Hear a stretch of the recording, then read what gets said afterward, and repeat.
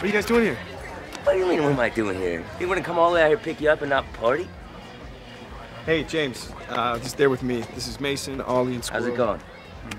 Nice to meet you all. Actually, you met us before. We promoted social on Thursdays.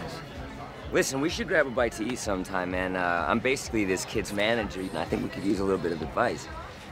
You know, just enjoy the party. We'll talk shop another time. Nice to meet you, bro. Hey, Cole, I want to show you something. Be cool. I'm like the coolest dude ever.